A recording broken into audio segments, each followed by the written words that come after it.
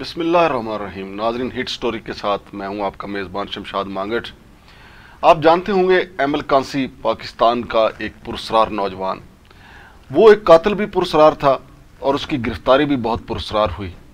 और अभी तक कई ऐसे गोशे हैं कि जो बहुत पुरसरार हैं। कहा जाता है कि उसकी गिरफ्तारी में मियाँ नवाज़ शरीफ का हाथ था। कुछ लोग कहते हैं, सबक सदर फरूक लगारी ने पैसे लेके उसकी गिरफ्तारी का बंदोबस्त किया। लेकिन अमरीकी महकमा की तरफ़ से जो तफसीत सामने आई हैं, वो मैं आपके सामने रखने जा रहा हूँ। और आपको क्लियर हो जाएगा कि एमल कांसी कौन था, वो अमेरिका क्यों गया, और फिर वहाँ जाकर उसने अमरीकी सी आई ए के एहलकारों को क्यों मारा? और फिर सी आई ए ने जो तहकीकात की, उसमें उनके सामने क्या चीज़ें आई? और सबसे अहम बात यह है कि वो कौन लोग थे जिन्होंने अमरीकी डॉलर लेकर एमल कांसी का सौदा किया। ये सारी तफसीत आपके सामने रखने जा रहा हूँ।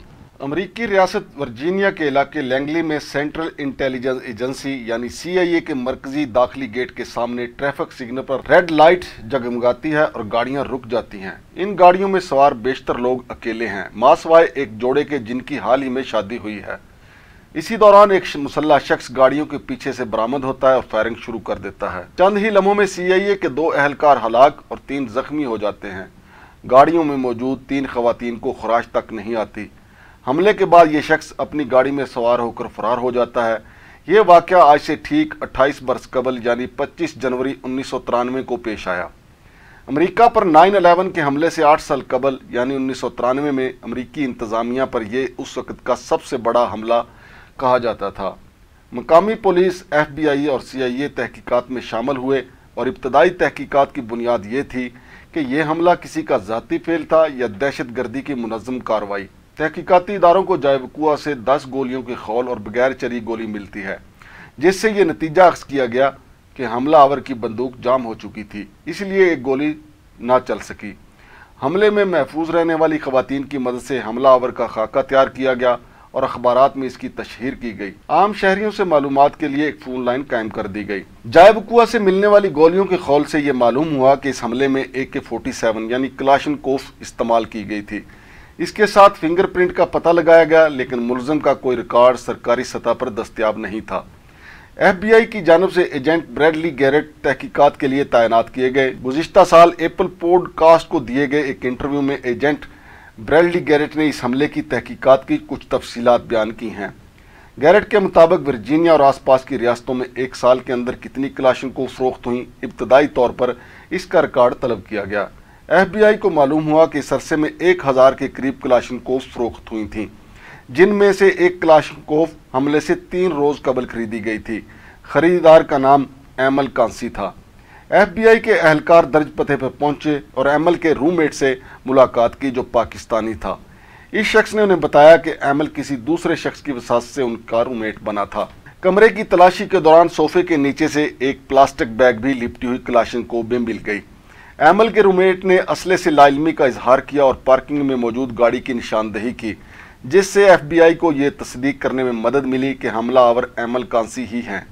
जो हमले के फ़ौरन बाद पाकिस्तान फरार हो चुके थे। एमल कांसी का पूरा नाम एमल खान कांसी था। बीबीसी को दिए गए एक इंटरव्यू में उन्होंने बताया था कि स्कूल और शिनाख्ती कार्ड के रिकॉर्ड में उनका नाम मीर एमल खान कांसी दर्ज था, लेकिन अपने नाम के बरक्स वो बलोच नहीं, बल्कि पठान थे। एमल कांसी ने इब्तदाई तलीम ग्रामर स्कूल कोयटा से हासिल की, जबकि गवर्नमेंट डिग्री कॉलेज कोयटा से ग्रेजुएशन के बाद बलोचिस्तान यूनिवर्सिटी से इंग्लिश लिटरेचर में मास्टर डिग्री हासिल की। अहमल कांसी का तलक पश्तून कौम प्रस्त सियासी घराने से था। इनके वालद पश्तून कौम प्रस्त रहनुमाओं गफ़ार खान और अब्दुलसमद खान के साथ रहे थे। इनके करीबी दोस्त ने बताया कि अहमल कांसी ज़माना तालब इलमी से पश्तून कौम प्रस्त सियासत की जानब माइल थे। यूनिवर्सिटी में दाखिले के कुछ से बाद वो अवामी नेशनल पार्टी की तलबा तंजीम, पश्तून स्टूडेंट फेडरेशन से वाबस्ता रहे और बाद में वो पख्तूनखा मिली अवामी पार्टी की पश्तून स्टूडेंट ऑर्गेनाइजेशन में शामिल हो गए। एमल कांसी के इस दोस्त का तल्लक इस्लामी तलबा तंजीम से था। वो बताते हैं कि उन्होंने अपनी तंजीम की खातर दीगर तंजीमों से तल्लक रखने वाले दोस्तों के साथ कभी भी नाता नहीं तोड़ा। एमल कांसी कॉलेज और यूनिवर्सिटी के दिनों में जमहूरियत की बहाली और रियासती पॉलिसियों के खिलाफ एहतजाज में भी शरीक रहे। बीबीसी को दिए गए एक इंटरव्यू में उन्होंने बताया था कि एक बार जुलूस पर शैलिंग भी हुई थी। एमल के दोस्त का कहना है कि वो दुनिया भर में बिलखसूस अफ़गानिस्तान में कश्त खून का जिम्मेदार अमरीकी पॉलिसियों को ठहराते थे। इन्हें अफ़गानिस्तान में अफगानों के बड़े पैमाने पर हलाकत पर भी बहुत मलाल था। एमल के दोस्त के मुताबिक एक मरतबा बलोचिस्तान यूनिवर्सिटी में एक अमरीकी प्रोफेसर के एजाज में प्रोग्राम मुरतब किया गया। अमरीकी पॉलिसियों के सख्त मुखालफ होने की वजह से एमल कांसी ने सख्त एहतजाज किया, जिसके बायस ये प्रोग्राम मुनद नहीं हो सका। और अमरीकी प्रोफेसर को खताब किए बगैर वहाँ से जाना पड़ा। एमल कांसी के अल्फाज में वो उन्नीस सौ इक्यानवे में अमरीका आए थे। यहाँ उनका एक दोस्त अमरीका का मुस्तकिल रहायशी था, जो वर्जीनिया में रहता था। उनके यहाँ आने का मकसद मुल्क देखना था और वो अपने साथ कुछ पैसे भी लाए थे और सोचा था कि कुछ बिज़नेस कर लेंगे। एमल ने अमरीका में सियासी पनाह की भी दरख्वास्त दे रखी थी, लेकिन उनको ये पनाह नहीं मिली थी। एमल ने बीबीसी को बताया था कि अमेरिका में अक्सर वीज़े की मुद्दत ख़त्म हो जाती है तो वर्क परमिट के लिए पनाग जीन की हैसियत से दरख्वास्त दी जा सकती है। उन्होंने पनाग जीन के स्टेटस को सिर्फ़ इसी मकसद के लिए अपनाया था, इसके दरपर्दा उनका और कोई मकसद नहीं था। अमरीका में क्याम के दौरान उन्होंने कोरियर कंपनी समेत मुख्तलिफ़ नवीयत की मुलाजमतें की। उनके साथ काम करने वाले मुलाजमीन का कहना है कि वो सख्त मेहनत वाला काम पसंद नहीं करते थे। एमल के रूमेट का कहना था कि वो ज़्यादातर खामोश रहते, लेकिन जब इराक और फलस्तीन वगैरह में मुसलमानों पर हमले देखते तो चिल्लाने लगते थे। सी आई ए हेडक्वार्टर पर हमले के अगले रोज एमल पाकिस्तान के लिए रवाना हो गया। इस वाक़े की तहकीकात करने वाले F B I agent Bradley Garrett Pakistan आए। उन्होंने एमल खानसी के खानदान से मुलाकात भी की। बाद होने वाली तहकीकात और अदालती रिकॉर्ड के मुताबिक एमल पाकिस्तान से अफ़गानिस्तान चले गए, जहाँ कुछ इलाकों में उन दिनों तालिबान की हुकूमत थी। तहकीकात के दौरान उन्होंने इतराफ़ किया कि उन्हें तालिबान ने पनाह दी थी और वो ज़्यादातर कंधार में रहे।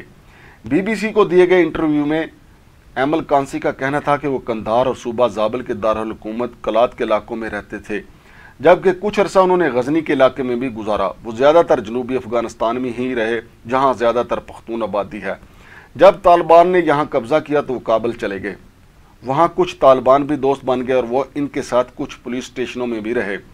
बकौल इनके इनका तल्लक पश्तूनों से रहा और वो अरबों के साथ रबते में नहीं थे।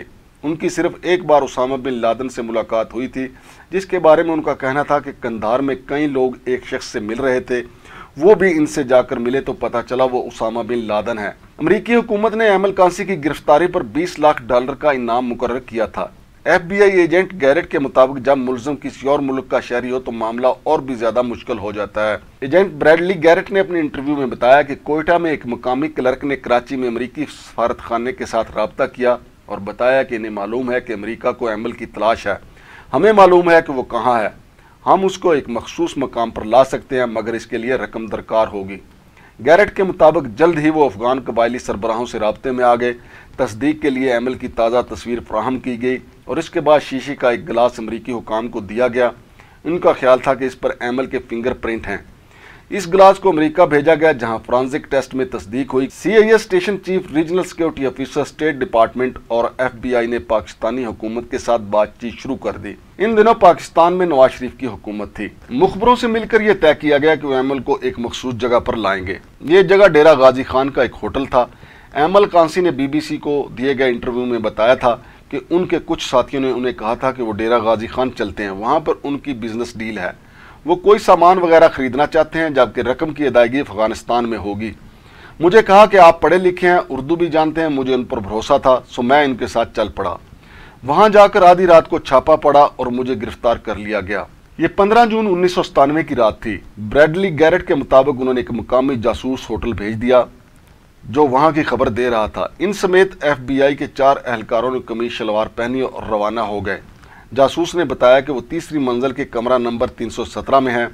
उन्होंने बताया कि मरकजी दरवाज़ा खुला रहता है और गार्ड नहीं है। एजेंट ब्रैडली गैरेट ने हैरत का इजहार करते हुए बताया कि उनका ख्याल था कि सुबह चार पाँच बजे कम लोग होंगे। लेकिन ये अंदाज़ा गलत साबित हुआ क्योंकि ये गर्म इलाका था और लोग सुबह सवेरे ही काम शुरू कर देते थे, इसलिए सड़कों पर कई सौ लोग मौजूद थे। कमीज शलवारों में मलबूस अमरीकी इनकी नज़रों में आ गए। वो होटल के दाखिली दरवाजे पर पहुँचे तो वो अंदर से बंद था। उन्होंने दरवाजे पर दस्तक दी तो एक गार्ड आया। उन्होंने इस पर काबू पा लिया और ऊपर की मंजिल की तरफ़ रवाना हुए। मतलूबा दरवाज़ा बजाया और बताया कि नमाज़ का वक्त हो गया है। एक दो बार दस्तक के बाद दरवाज़ा खुला तो एजेंट्स अंदर दाखिल हुए और वहाँ मुशतबा शख्स को चित कर दिया। इस शख्स ने मुजाहमत की और कुछ खराशियाँ आई। इसके बाद दोनों हाथ हथकड़ियों से बाँध दिए गए और मुँह में कपड़ा ठोंस दिया गया। एजेंट ब्रेडली गैरेट के मुताबिक शक्लो सूरत में ये मुशतबा शख्स एमल जैसा ही लगता था, जिसके बाद इंक पेन की स्याही इसके अंगूठे पर लगाई और पेपर पर लगाया मैग्नीफाई ग्लास से भी मुशाह किया, जिसके बाद तस्दीक हो गई कि ये एमल कांसी ही है। आईएसआई ने एजेंट ब्रेडली गैरेट और उसके साथियों को एमल कांसी समेत फौरी तौर पर पाकिस्तान छोड़ने से मना कर दिया। वो बताते हैं कि पाकिस्तान की खुफिया एजेंसी ने वाजे कर दिया कि हम मुल्क नहीं छोड़ सकते, जिसकी वजह से हमें वहाँ दो रोज़ रुकना पड़ा। गैरट ने अपने इंटरव्यू में कहा कि उन्होंने आईएसआई के जनरल को कहा कि आपने एमएल की गिरफ्तारी की इजाज़त दी, लेकिन अब गिरफ्तारी के बाद मैं या मेरा कोई एजेंट इसके साथ रहेगा, ताकि इसको कोई नुकसान ना पहुँचाए या पूछ गुछ ना करे। वो इस पर रजामंद हो गए। अगले दो रोज़ हम चार अफराज चार चार घंटे सेल के बाहर बैठते थे ताकि एमल को कोई तंग ना करे। दो रोज़ के बाद उन्हें बताया गया कि सदर क्लिंटन और वज़ीर खारजा, मेडलिन अलब्राइट की अपने हम मनसबों से बात हो गई है और हमें जाने की इजाज़त है। यूँ सत्रह जून उन्नीस सौ सतानवे को इस्लामाबाद से अमरीका का फ़जाई सफ़र शुरू हो गया। एमल कांसी के मुकदमे के तहरीरी फैसले के मुताबिक त्यारे में एमल का तिबी मुआयना भी किया गया और एजेंट गैरेट ने ज़ाती मालूम और अमरीका आने के मकसद के बाद हमले के बारे में सवाल किए। एमल ने बताया कि फायरिंग से कई रोज़ कबल तक वो ये सोचते रहे कि सी आई ए के हेडक्वार्टर पर फायरिंग करें या इसराइली सफारतखाने पर। फिर उन्होंने सी आई ए हेडक्वार्टर का इंतखब किया, क्योंकि सी आई ए के हुकाम मुसल्ला नहीं होते। अपने बयान में हमले की वजह बताते हुए उन्होंने कहा कि इन्हें गुस्सा था, क्योंकि अमरीकी त्यारों ने इराक पर हमला किया था और वो सी आई ए की मुस्लिम ममालिक में मुदाखलत की वजह से भी गुस्सा में थे। इसके अलावा इन्हें अमरीकी थादियों की जानब से पाकिस्तानियों की हलाकत पर भी तशवीश थी। एमल कांसी ने बीबीसी को दिए गए इंटरव्यू में तस्दीक की कि उन्होंने एफ़ बी आई को दिए गए इकबाली बयान में हमले की ज़िम्मेदारी कबूल की थी और उन्हें बताया था कि उन्होंने सियासी वजूहत की बना पर यह हमला किया था। उनके बकौल, उसका मकसद मशरक वस्ती में अमरीका की खारजा पॉलिसी ख़ास तौर पर इसराइल नवाज़ पॉलिसी के ख़िलाफ़ एहतजाज करना था, जो उनके मुताबिक मुसलमानों और फ़लस्तियों के ख़िलाफ़ थी। एमल ने अपने तहरीरी बयान में तस्दीक की कि उन्होंने ए के फोर्टी सेवन कलाशनकोव और एक सौ पचास गोलियाँ खरीदी थीं। हमले वाले रोज उन्होंने अपना ट्रक रोका और जैसे ही सुर्ख इशारे पर गाड़ियाँ रुकी तो उन्होंने गोलियों की बुछाड़ कर दी। उन्होंने दस गोलियाँ चलाई और पाँच अफराद को निशाना बनाया, जिनके सीनों पर निशाना लगाया। खातन पर गोली ना चलाने के बारे में उनका कहना था कि उनका मज़हब इसकी इजाज़त नहीं देता। एमल कांसी ने एफ़ बी आई को दिए गए बयान में रजाकाराना तौर पर इकबाल जुर्म किया, लेकिन बाद में वो इससे दस्तबरदार भी हो गए।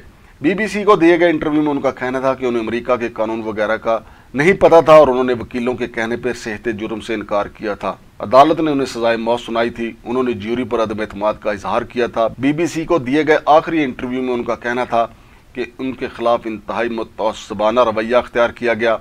अदालती कार्रवाई भी इसी इलाके में की गई, जहाँ हमले का वाक़ पेश आया था और कानून के तहत ये इकदाम भी गलत था। उन्होंने कहा कि गिरफ्तारी के बाद जराए अबलाग ने उनके खिलाफ इंतहाई शदीद प्रापोगंडा शुरू कर दिया और ज्यूरी के हजरात इस प्रापोगंडा से इस कदर मुतासर हो चुके थे कि उन्होंने उन पर लगाई गई हर दफ़ा के फैसले में सख्त तरीन सज़ा तजवीज़ की, जिनमें उम्र कैद जुर्माना और सजाए मौत शामिल थीं। एमल कांसी की सजाए मौत पर अमल दरामद से कबल अमरीका ने मुमकिन रद्द अमल पर अपने पाकिस्तान में सफारत खाने को अलर्ट जारी कर दिया था। सजा सुनाए जाने के दूसरे रोज़, तेरह नवंबर उन्नीस सौ सतानवे को यूनियन टेक्सास पेट्रोलियम के चार अमरीकी मुलाजमीन को कराची में फायरिंग करके हलाक कर दिया गया था। पुलिस ने इस वाक़े को टारगेट किलिंग करार दिया था। एमल कांसी की तमाम अपीलें मुस्तरद होने के बाद 14 नवंबर 2002 को इन्हें जहर का इंजेक्शन लगाकर सजाए मौत पर अमल दरामद कर दिया गया। सजाए मौत पर अमल दरामद से कबल उनसे दो भाइयों और एक पेश इमाम ने आखिरी मुलाकात की थी। अहमल कांसी की कोयटा में नमाज़ जनाजा में लोगों की एक बड़ी तादाद ने शिरकत की और मुतहदा से अमल के रहनमा मौलाना फजलरहमान ने उनके घर जाकर ताज़ियत की। अहमल कांसी की गिरफ्तारी और अमरीका मुंतकली के खिलाफ लाहौर हाई कोर्ट में उस वक्त भी एक दरख्वास्त जेर समात थी, जिसमें गुजारिश की गई थी कि इस वक्त के वज़ीर अजम मियाँ नवाज़ शरीफ और पंजाब के वज़ीर अला शबाज शरीफ के खिलाफ कार्रवाई की जाए। जिन्होंने पाकिस्तानी शहरी की गिरफ्तारी में साथ दिया। और गैर कानूनी तौर पर अमरीका मुंतकिल करने में मदद फ्राहम की। जी तो नाजरीन, ये तो एक अहम तरीन राज ही रहेगा कि वो जो एमल कांसी के दोस्त थे, जिन पे एमल कांसी को बहुत भरोसा था, जिनकी बात पे एतबार करते हुए एमल कांसी अफ़गानिस्तान से डेरा गाजी खान में आए और उस होटल में ठहरे, जहाँ पे सीआईए के एहलकारों ने उनको दबोच लिया। लेकिन वो दोस्त जिन्होंने 20 लाख डॉलर लेकर एमल कांसी को फ़रोख्त किया तो ये एक राज ही रहेगा, क्योंकि वो दोस्त यकीनी तौर पर इतनी बड़ी रकम लेकर उस दौर में अब करोड़पति बल्कि अरबपति हो चुके होंगे। ये भी हो सकता है, बहुत गरीब हो गए हों, क्योंकि ऐसी दौलत जाते हुए भी देर नहीं लगती।